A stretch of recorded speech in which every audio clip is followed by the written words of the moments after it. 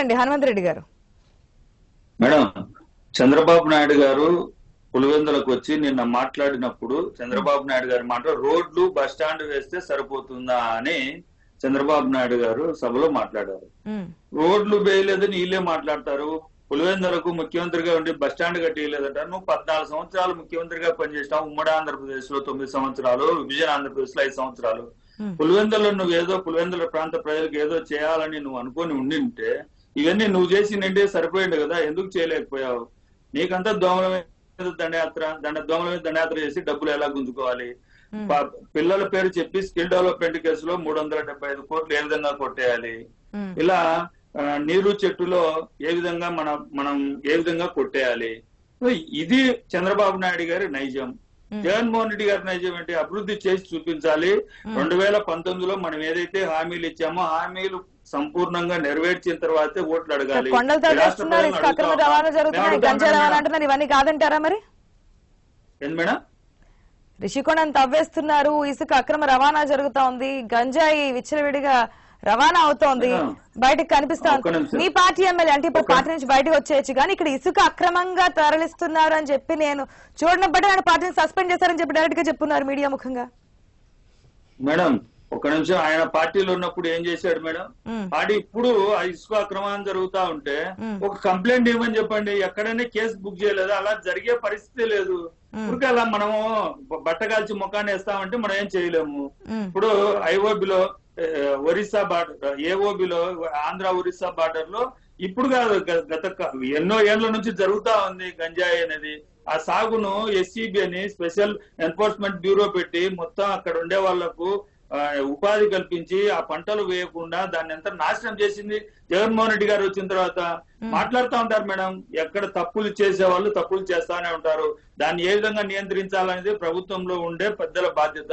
ఖచ్చితంగా మేము నెరవేర్చాం మంచి చేశామనే ఓట్లు అడుగుతాం అని మేము చెప్తా ఉన్నాం గతంలో వాళ్ళు చేసిన మంచి పనులు ఉంటే మేము రెండు వేల పద్నాలుగు నుంచి రెండు వేల పంతొమ్మిది వరకు మంచి చేశాం కాబట్టి మాకు ఓట్లు ఏమని చంద్రబాబు అడిగితే తప్పేం లేదు మేము అడుగుతా ఉన్నాం రెండు వేల పంతొమ్మిది నుంచి రెండు వేల ఇరవై నాలుగు రాష్ట్ర ప్రజలకు మంచి జరిగితేనే ఓట్లు ఏమని అడుగుతా ఉన్నాం మీకు మీ కుటుంబానికి మీకు మంచి జరిగితేనే మేము మంచి చేస్తేనే ఓటు ఏమని అడుగుతా మంచి మీద ఉన్నాం. సంక్షేమం. మాదిరిగా బెదిరియాలనో ఇంకోటి సంక్షేమ రూపంలో వస్తే గనక. సంక్షేమ రూపంలో మీకు మీ ఖాతాలో డబ్బు జమ అయితే గనక మేడం మేడం ఒక్క నిమిషం మేడం.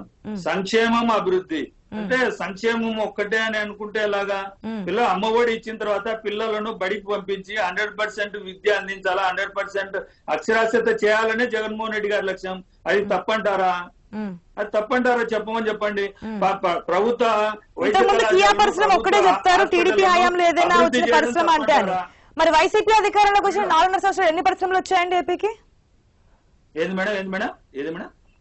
కియా పరిశ్రమ ఒకటే చెప్తూ ఉంటారు. టీడీపీ హయాంలో చేసిన దాని గురించి అని చెప్పి ఆయన చెప్తా ఉంటే మీరు కౌంటర్గా మాట్లాడున్నారు కదా. మరి వైసీపీ అధికారంలోకి వచ్చిన ఈ నాలుగున్నర సంవత్సరాలు ఎన్ని పరిశ్రమలు వచ్చాయి? రాజధాని గురించి కూడా. మాట్లాడుతా ఉన్నారు. ఆ వెలుపైన ఎమ్మెల్యేలు కావచ్చు. లేదంటే ప్రతిపక్ష నాయకుల గురించి కావచ్చు. రాజధాని గురించి కూడా మాట్లాడదాం మేడం. రాజధాని పేరుతో అక్కడ ఉండే ఆ ప్రాంత ప్రజలను మోసం చేసింది చంద్రబాబు నాయుడు గారు. పదహైదు వేల కోట్లు వాళ్ళు ఇచ్చిన భూములను తాకట్టు పెట్టి నాలుగు వేల ఐదు వందల కోట్లు ఖర్చు పెట్టింది చంద్రబాబు నాయుడు గారు.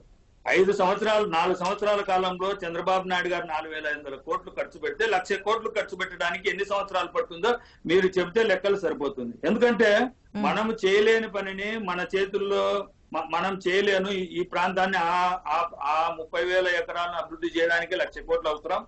ఇది మనం చేయలేమని జగన్మోహన్ రెడ్డి గారు చెప్పి.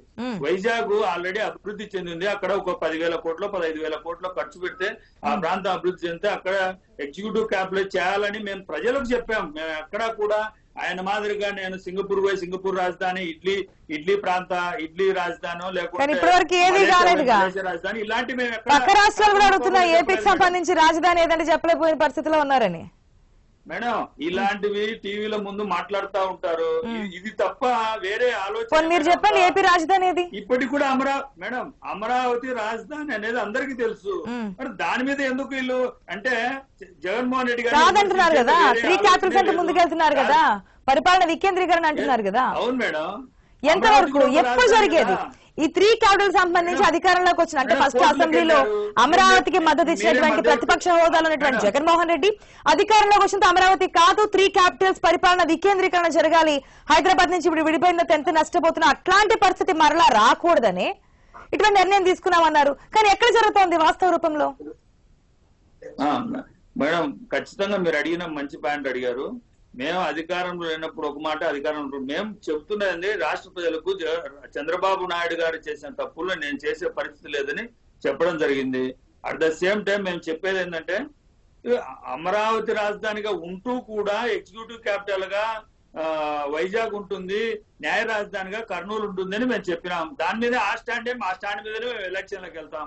మరి ఎక్కడ దాంట్లో నుంచి పారిపోయే. పరిస్థితి లేదు. ఏమంటారు ఆనంద్ సాగర్ గారు? ఏముండవండి?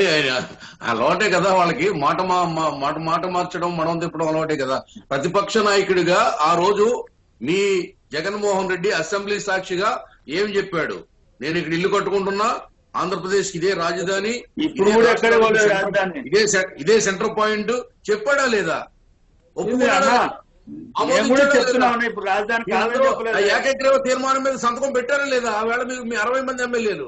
ఏం మాట్లాడతారండి? ఏం మాట్లాడతారు? మరీ సెల్ఫ్గోల్ అయిపోతారు మాట్లాడి. చెప్తారులేండి. మీరు మనం మీ- రెండు వేల పంతొమ్మిది ఎన్నికల్లో మూడు రాజధానులు పెడతామని ప్రజలకు చెప్పారా? ముఖ్యమంత్రి అయ్యాక మాట తప్పారు మడం తిప్పారు. మూడు రాజధాని గురించి ఏం మాట్లాడలేదులేండి. చెప్పిన రాజధాని- లక్ష కోట్ల రాజధాని కట్టాలంటే లేదు కదా. మూడు రాజధానులు కోట్లు ఏం చేశారో చెప్పండి. ముట్టినాయి కోర్టులు ముట్టుగాయలు ముట్టినాయి ఈవేళ హైకోర్టుని హైకోర్టుని హైకోర్టుని కర్నూలుకి తరలిస్తారా? సవాల్ చేస్తున్నాం. హైకోర్టు కర్నూలుకి తరలిస్తారా మీరు? తరలిస్తారా? చెప్పండి. తరలిస్తాం ఆ, తరలిస్తాం తరలింటారు మీ తరం కాదు మీ తాత తరం కాదు మీ తాత తరం కాదు. మీరు ఏ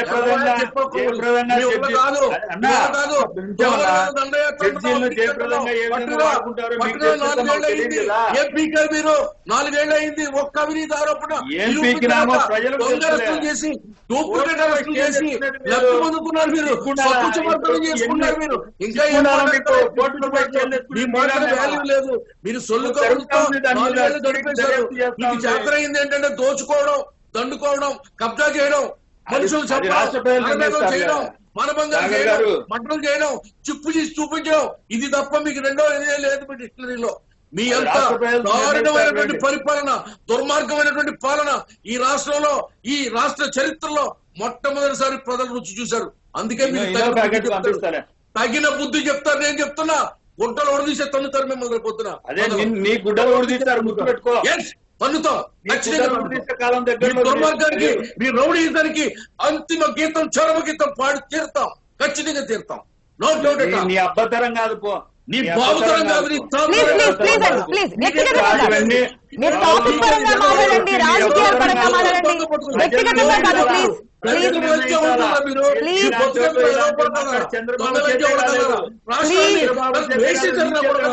మట్టు కూడా అమ్ముకుని బతుకుతున్నారా? మీది ఒక బతుకురా మీది ఒక. ముప్పై. కేసుల్లో నాయకుడు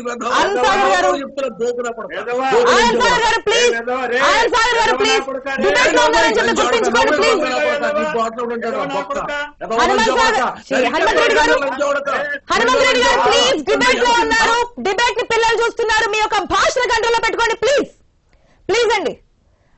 పిల్లలు చూస్తున్నారని ప్లీజ్ మైండ్లో పెట్టుకోండి. ఇప్పుడే భాష గురించి మాట్లాడున్నాము. మీ భాష మాట్లాడమని చెప్పున్నారు. కానీ